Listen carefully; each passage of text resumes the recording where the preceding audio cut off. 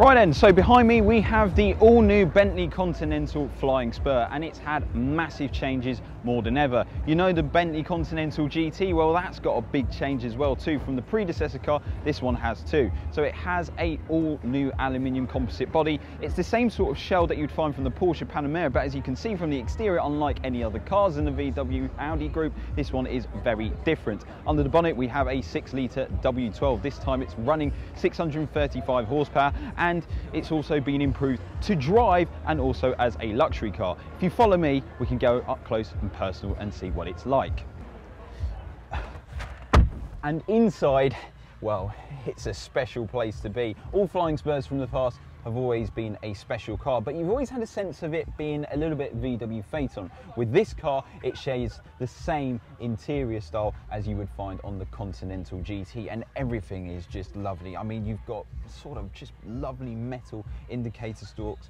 All the touch points is nice as well, soft leather everywhere, exactly what you would expect from a Bentley. And it's a shame we don't have smell-o-vision cameras because inside it smells beautiful. Um, it's just a really nice place to be. And you also sit lower in the car as well too, but you just have a feeling of just absolute specialness with it as well too. You've also got really nice paddles. This car has also got an 8-speed dual clutch gearbox. It's actually a familiar gearbox that we find from Porsche's PDK, the 8-speed that they use from the Panamera, but let's call it BDK for Bentley's sake. It's also got the Bang & Olufsen sound system, and inside it just feels airy. It's a massive transformation for Bentley, and I do like this interior colour scheme and the centre console and all the dials. And one thing I do love as well, you can't find anything that you would find from any of the VW Audi groups, which is a really nice touch. It feels very bespoke.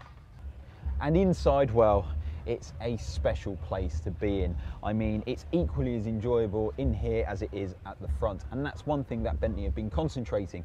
They want this car to be a driver's car as well as being a luxury car, two sides of the flip coin. The Flying Spur was really good as a fast performance vehicle, but in terms of corners, well, it was a little bit different. But we'll talk about that later on because we will get a chance later on in the year to actually drive this car.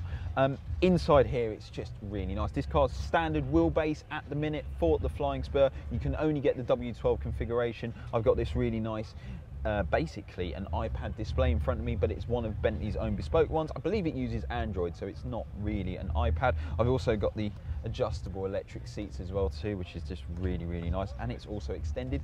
Over here as well, we've also got a screen that basically shows the air conditioning as well too.